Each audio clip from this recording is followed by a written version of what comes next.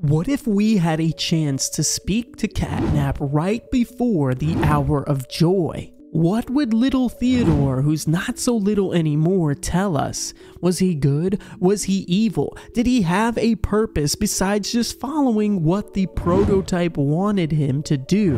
Well, in today's video, we get just that a conversation, a FNAF style interview one on one with Catnap before it all went down. This video was brought to us by a creator named Motya Games, and let me tell you, it is entirely too spine chilling to watch alone. There is an eerie sense of evil that comes from the voice of Catnap, and it is very, very well done. I could definitely see this being canon, as it is a conversation with Catnap and one of the scientists who put him in this bigger body. Shortly after that video, we're gonna watch a VHS version of Catnap escaping and wreaking havoc during the Hour of Joy.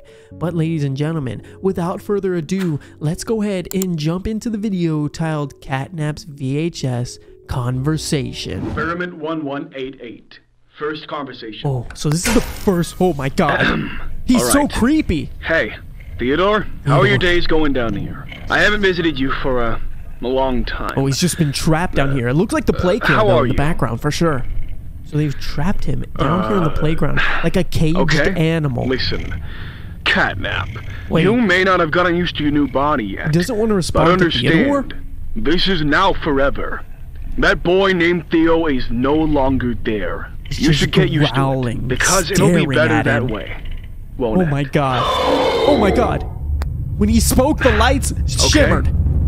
Oh, oh. 118 was managed to have rescheduled the conversation for the next week, so he refused to speak the first time. Experiment Oh my god, look at him, 1188. Slenderman Hello again.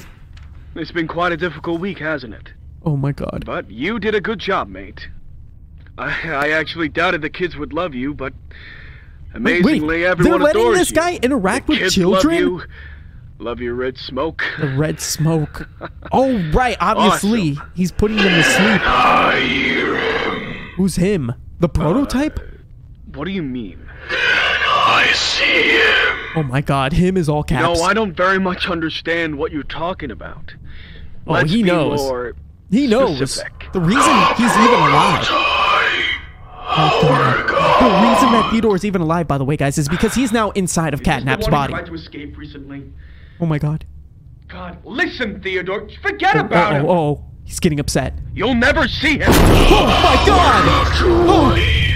Oh, of joy soon will be free! And he's busted open the glass almost. Scary, Yeah, that's scary. but unfortunately, It's a giant cat in our hands, you are completely that you created. control. Our eyes are on you. so he says he's completely under control. So surely he doesn't escape. Humble yourself. And there's a call going on in the background. 1188 managed to escape from his cell with the unknown force. The conversation was interrupted, literally right between that. Look, Harley Sawyer. The hour of joy is upon us. Oh my god! And literally, it's Harley Sawyer that wrote that. And look at Catnap. Wait, so do we get a glimpse of him actually escaping? Oh my god, he's out! Wait, this is the this is the scientist running. Is this Harley? No, he wouldn't have wrote it. Oh my god. Okay. Just hide behind this door. Nothing to see here. Don't don't peek. Don't peek. Just hide here. And Okay, we're safe. Oh, never mind. Never mind. Get back in. Get back in. Get back in. Close that door. Maybe he didn't see you. Maybe he didn't see you. Just stay here. Don't move. Where are the other children? Is he killing them? This is this is Wait, he, he didn't see us. We're safe. Oh my god. Okay, this is really good. So now all we have to do is go out slowly and escape. That's all you have to do. Step out and escape. One step at a time. The lights are flickering. Oh my god, where did he come from? Wow. Now that was Oh my god, it's a body. It's a body. I thought it was over, but it's not. What is he going to do to it? He just killed him. He didn't eat him. But then again, this is pre the hour of joy, so he's not entirely too hungry. Okay, let's get a glimpse of what would happen during the actual hour now. Okay, so this video takes place, it is literally titled Poppy Playtime Chapter 3 The Hour of Joy. And it starts off with the Smiling Critters cartoon. Workforce Danger Alert. Effective 8 8 1995, Playtime Company issues a workforce danger alert. And we already know this is exactly when the, Hour, of Joy took place. All right, so. Oh my god, it's a mix of all Sounds of the videos. sweet, doesn't it? But how much that sweetness has sacrificed our employees? Uh oh. And all this happened because of one thing. Experiment 1006. That's the prototype. prototype, my friend, The prototype a on piece of August paper. 8th launched a rebellion against Playtime Co., freeing The smiling all the critters. Those are the mini smiling critters. Before, but he couldn't. Oh my God, imagine alone. being eaten so alive by them. Experiment Red smoke. 1188 or catnap. Oh my God. catnap is inherently a dangerous murder weapon. Oh my God, But get outta the there. whose soul was in Oh my catnap, God. There was an attachment. Oh, he tripped. A typical. All that awaits Every you horror VHS needs one. One trip. Horrors. Oh my goodness, look at Mighty that. of teeth and Oh my gosh. How immense. How crazy would that be? You don't know if you're hallucinating. He will hallucinating. kill everyone in his path. Oh my god. He'll kill everyone in his path. And we already know that him and a few others did exactly that. So there you have it, ladies and gentlemen. Catnap. An interview right there with him in front of us, which they thought he was contempt. Hidden behind whatever glass. They were so secure about it, even telling Catnap to humble himself. That is until he just so happened to finally either be released or break out himself. My thoughts here are that the prototype somehow got Catnap out. He obviously had somewhat of a relationship with Theodore, seeing as he's once saved him, which led to Theodore being put inside of Catnap's body during the Bigger Bodies initiative.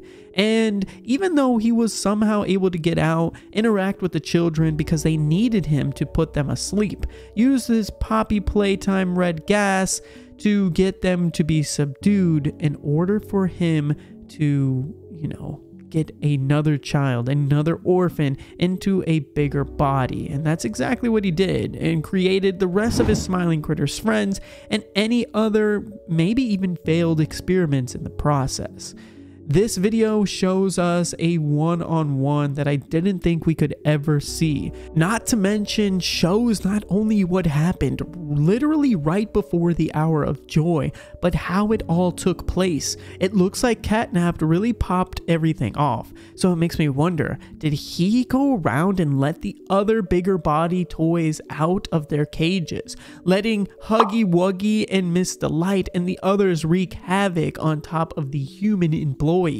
Regardless, the eeriness of this video really puts into perspective just how horrible that day was, and probably explains why the rest of the toys find it to be so gruesome. You can see they weren't just killing these employees to eat them, but for sport, a way to get back at having their bodies be shoved into these horrific creatures.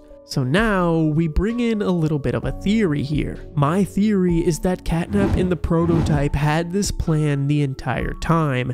They worked together hand in hand, knowing that the scientists would keep releasing Catnap as long as he allowed himself to seem like he was helping them. He used his red poppy gas in order to spread it to the children and give the scientists what they want. However, it was just testing the boundaries of his cage, allowing him to see what he could and couldn't do. And he even says it himself when he says that the hour of joy is soon coming, warning the scientists exactly of what he is going to do. And it doesn't get more cocky than that, and it explains why the scientist told him to humble himself. But when he did finally get out, he didn't forget those words. He found that same scientist, found him hiding within the play care, and eventually killed him right before him and the others wreaked havoc on the rest of them. And that, my friends, is a insane look into the eyes of the monsters at the hour of joy. So, ladies and gentlemen, if you enjoyed this video, do me a huge favor. Make sure you hit that like button and that subscribe button, and we'll be sure to come back with more of this series right here as videos are released.